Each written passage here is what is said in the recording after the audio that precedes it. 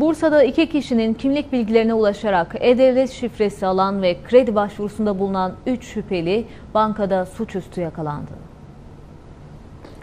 Osman Gazi ilçesinde sahte kimlikle kredi başvurusunda bulunan şüpheliler kredinin onaylandığı bilgisine ulaşınca bankaya gitti. Şüphelilerin kredi alacağı sırada şüphelenen banka görevlisi ihbarda bulundu. Ekipler harekete geçerek 3 kişiyi suçüstü yakaladı. İki kişinin adına kimlik çıkartan şüphelilerin PTT'den e-devlet şifresi aldığı belirlendi. Böylelikle ihtiyaç kredisi başvurusu yapan şüphelilerin işlemleri onaylanınca İstanbul'dan Bursa'ya 100 bin lirayı almaya geldiği öğrenildi. Ayrıca şüphelilerin bu yöntemlerle başka illerde de dolandırıcılık yaptığı ifade edildi. 3 kişi adliyeye sevk edildi.